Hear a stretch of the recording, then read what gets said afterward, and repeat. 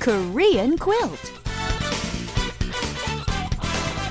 Uh, I'd like to send this package to Greenland, please. Can you tell me how much that's going to cost me?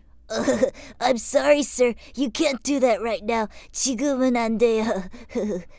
Um, all right. Hi there, everyone. We're back here at Arirang once again and ready to learn today's phrase, aren't we, Anna? You bet today it's one of those really helpful phrases that, although it doesn't translate perfectly into English, it is extremely useful in Korean. That's correct. And as we heard before from those, gosh, they're excellent voice actors, aren't they?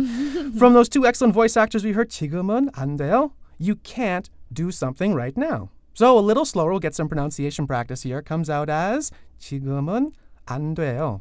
지금은 안 돼요. Right, and more naturally, telling someone you can't do something right now, 지금은 안 돼요. 지금은 안 돼요. Right now, here we've seen 안 돼요 many times on Korean quilt, but it's kind of confusing, isn't it, Anna? Yes, it is, Richard. It's from the verb to be technically, but when in everyday Korean we can change the actual meaning. So, for example, in today's phrase we have 지금, which is now, and when we put it together as a whole, 지금은 안 돼요, we get something that is similar to you can't do something right now.